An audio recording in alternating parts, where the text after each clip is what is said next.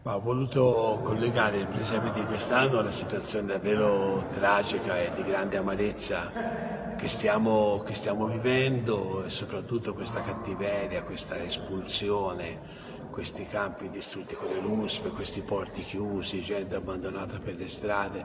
Io penso che non può lasciare indifferenti noi cristiani che nel Natale vediamo proprio un Dio che si fa scarto, che si fa marginalità, nasce in un rifugio di fortuna e mi sembra davvero inopportuno quest'anno dare a Natale solo questa parte, questa cartese di, di, poesia, di tenerezza, quando non c'è nessuna poesia in qualcuno che è abbandonato da solo per la strada o nasce in un tugurio come è nato Gesù. Quindi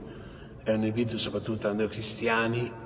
a celebrare la bellezza del Natale non solo nella sua poesia, ma anche nella bellezza di un incontro con Gesù fatto nelle persone più abbandonate e emarginate. Gesù è nella spazzatura che nasce e lì aspetta un nostro gesto di tenerezza, un nostro sguardo, perché il Natale sia meno ipocrita e sia anche più bello per noi.